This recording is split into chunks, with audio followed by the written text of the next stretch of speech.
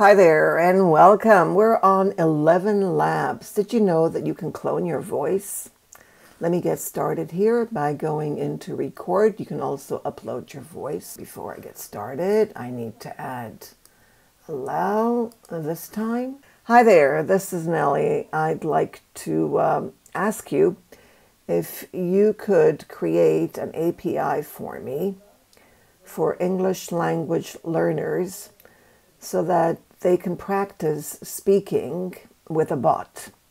Now, it's not just practice speaking, but also give them a chance to be able to use their first language with a bit of translations in case they feel lost. And that's it. Now I'm going to go into, I can remove background noise in case there was any, and add voice at the bottom. But before I do, I need to uh, describe it.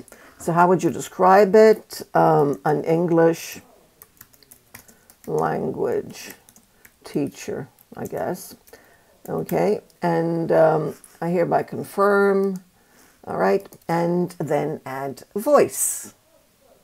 Isn't this exciting? I love these AI tools and especially ElevenLabs, which is absolutely amazing. Highly recommend it. And now I can use my voice. Now I'm going to go into selective voice. Notice uh, right here, selective voice, open the menu and choose Nellie. Yay. Now I am going to create the voice. And here goes. Artificial intelligence, AI, has become an increasingly influential tool in English language teaching, ELT, transforming traditional teaching methods and enriching learning. I think that's pretty good. It does sound like me, or at least some parts of it. It's not 100%, but I think it's really, really close. So have fun. Uh, create uh, these bots for your students, and I think they're going to love you for it. So thank you for watching.